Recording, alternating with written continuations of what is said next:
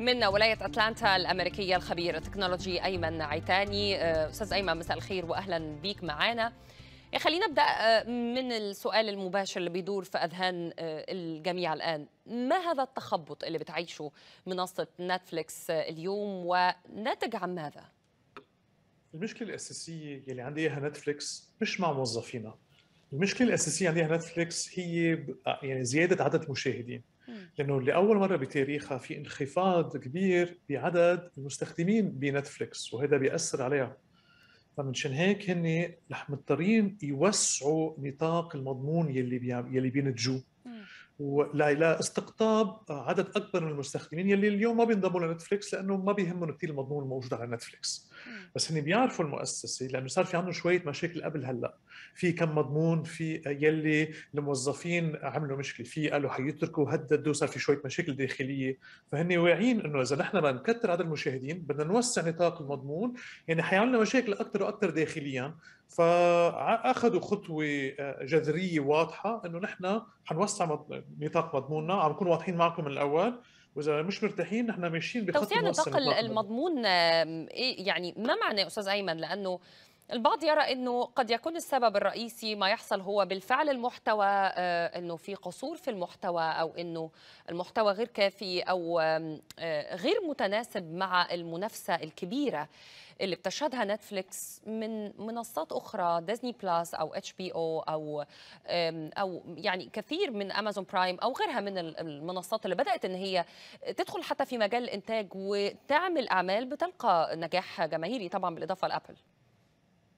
هلا كمضمون مثلا في مضمون مثلا سياسي على نتفليكس بس بيكون باتجاه معين أكثر من اتجاه ثاني فهن ليكون في عدد أكثر من الناس بيعملوا كل كل النقاط السياسيه بيعملوها أكثر هذا واحد. اثنين اجتماعيا كل واحد منا نحن مرتاح بطريقة معينة يعني طريقة عيشتنا كيف بتكون. فالمضمون نحن اللي بنحضره حسب بيئتنا وحسب نحن شو ربيانين بنحضر هالمضمون. ففي مضامين إذا كانت موجودة بتزعج بيتركوا أو إذا كانت موجودة حابين يحضروها مش موجودة آآ آآ كمان بيتركوا. فمنشان هيك يعني بس اللي بتتعارض مع القيم الاجتماعية أو الدينية يعني. القيم الاجتماعية الأخلاقية الدينية.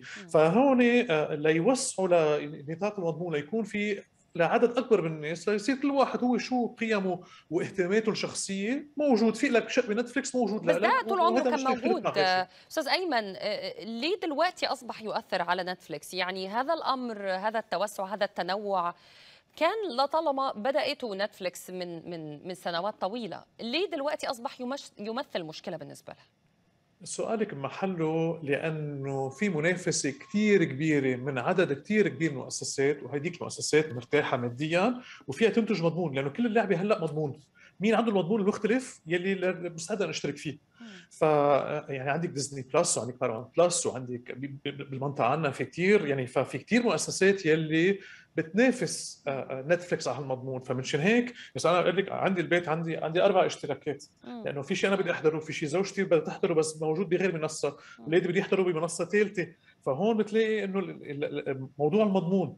فمنشان هيك في هالمؤسسات الثانية. نحن ففي الواحد يرتاح من دون نتفليكس يروح على محل ثاني فهون هيدي الأزمة عم بتصير موجودة هلأ. هل هل شايف أستاذ أيمن إنه نتفليكس تقدر إنها تمر أو تعبر من هذه الأزمة وتستعيد ال 200 ألف مشترك غدروا المنصة وأدوا إلى انخفاض في أسهمها لأول مرة بالرغم من أنه نتفليكس كانت لطالما اعتبرت أنها حصان رابح.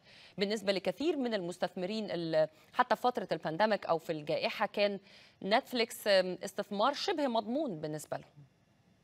هلا على نتفليكس كمؤسسة ما في خوف كثير بالأمد الطويل بالأمد القصير شوي.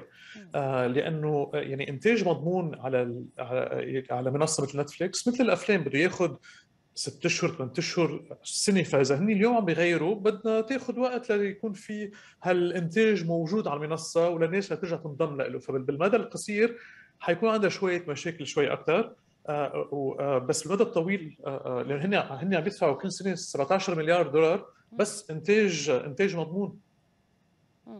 طيب أخيرا شاهدنا أيضا وتابعنا إن في خطاب شديد اللهجة مع الموظفين على ما يبدو إنه في بعض الموظفين هم غير مرتاحين لسياسات نتفليكس أو توجهاتها مؤخرا. هل هيكون أو هنشهد صراع داخلي داخل المؤسسة وهل ده ممكن بالفعل يؤدي له- لهزة في ثبات أو في أداء المؤسسة أو المنصة؟ بالتغيير بالتغيير اللي عملوه هلا أكيد في قسم الموظفين رح يترك ما انه مرتاحين يعني يعني كتفكير طريقة تفكيرهم ما بيرتاح لهالنوع الخطاب. هذا واحد. اثنين في ناس بتقول لك أنا ماني مرتاح بس خلينا ننتظر شوي. ست اشهر ثمان اشهر ننتظر شوي وشوف شو بصير وبعدين بيقرروا. وبس هي نتفليكس مؤسسة كثير كبيرة وفي كثير ناس بتتمنى إنها تشتغل مع لنتفليكس فالناس اللي بتترك حيكون في بديل ثاني له بس هلأ بالاعلام كل الحكي إنه نتفليكس وديزني بلس وغيرها بس هو الرابح الأكبر بكل هول هو تيك توك. لأنه تيك توك عدد المشاهدات عليه هائل عالميا. بس ما بيدفعوا ابدا على مضمون المضمون كله جاي مني ومنك.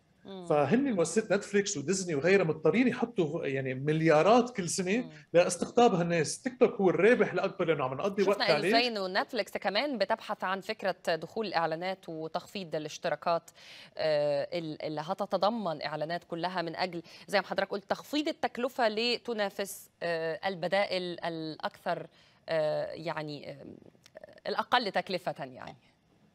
وحتى أنا هلا يعني بزيارة قصيرة بأمريكا عم شوف نتفليكس في عندهم آه، آه، فيديو آه، قصير عم يكون في نوع فيديو قصير بعده منه موجود بالمنطقة عنا بالبلدان العربية نوع فيديو قصير ليكون كمان استقطاب للناس اللي بدهم شيء صغير يحضروه بسرعة ويقضوا وقت عليه مثل مثل عم يعملوا على على تيك توك وعلى يوتيوب شكراً. Shorts. و Reels بشكرك جزيلا من أتلانتا الأمريكية الخبير التكنولوجي أستاذ أيمن عيتاني شكرا لوجودك معنا